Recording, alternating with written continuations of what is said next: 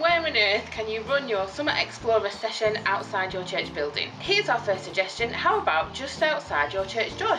In this church setting, there's a perfect space because you've got a covered veranda where you can pop your table with your activities on to keep it protected from the weather, but also enjoy the outdoor space uh, and get togged up with your raincoats on if necessary. Alternatively, why don't you just pop things inside the porch so that again you can access them just when you need to.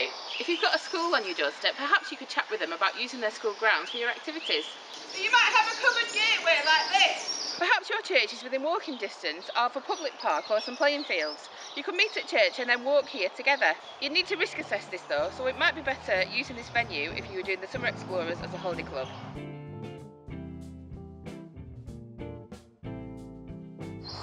As you're reading the resource, you will notice that Weekly at Summer Explorers has nine different sections in each session. We've got the opener, Bible time and a take-home activity which are great ways to start and finish each session. We have our explore time which is a chance to uh, explore nature whilst connecting with God. We've got play, a themed based game, create, which is a making activity, praise, which is an opportunity to praise God through music, discover, which is our response activity, and finally we have pause, which is our prayer time. That time just to stop and be.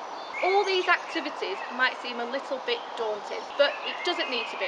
If you're running a session that's between 40 minutes and an hour long, pick maybe two or three activities only. For your 40 minutes to one hour slot, we do recommend maybe about three leaders. Now obviously, you have safeguarding ratios that you need to keep uh, in mind. Now the Diocese have wonderfully created a toolkit and at the bottom of your screen you should find uh, a link that will take you to it.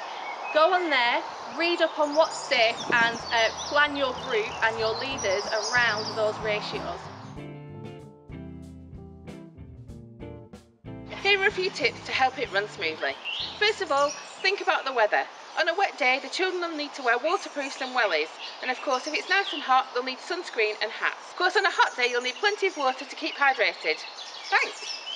You might want to have a tarpaulin or a ground sheet to hand so that you can pop it down on the grass so that you can then sit down. This is great for the pause section. A really helpful tip is to consider whether anything needs preparing in advance of your session. Does anything need cutting out or holes punching before you get there? If you can do these in advance, it'll really help you to maximise the use of your time during the session.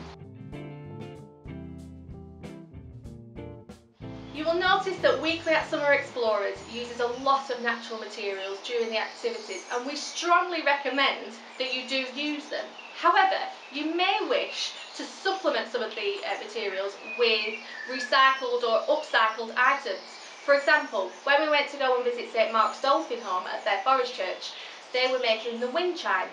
They had sticks, which is what we have in the instructions, but they also used some wooden slats from window blinds. You too can adapt and change some of the materials to suit what's around you. Take a plastic bottle for example. In week four we have a journey stick where you're meant to wrap items around a stick but you could fill a plastic bottle full of those items instead or maybe you could take the lid. The plastic bottle lids are a bit of a pain because you can't recycle them very well but you can reuse them in some of our activities. You had quite a few of them. You can use them as part of the trail sign activity. You could pre-drill holes in as part of decorations or even to hang on your trees to make your uh, musical tree or the wind chime itself. Take the main body of the bottle, you could cut out circular discs, put holes in them, attach them to a stick and instead of having a leaf rattle, you've got a recycled bottle rattle for your musical activity. You can even make these uh, feather or leaf shapes out of a plastic bottle body. Uh, you just cut them to shape any size you want and hang them from your nature mobile. Because of the shininess of the bottle, it makes a really pretty light as the uh, mobile blows in the wind. It's absolutely beautiful. The aim of Weekly at Summer Explorers is to connect with God through nature. So however you choose to run and adapt the activities, it's just about making sure that that is at the core of what you do. Now we absolutely love it when you send us pictures and uh, show us how you've been using our resources. So If you do adapt any of these activities, then please share them with us. The email address will be at the bottom of the screen, and if you're happy for us to share them on social media, just let us know.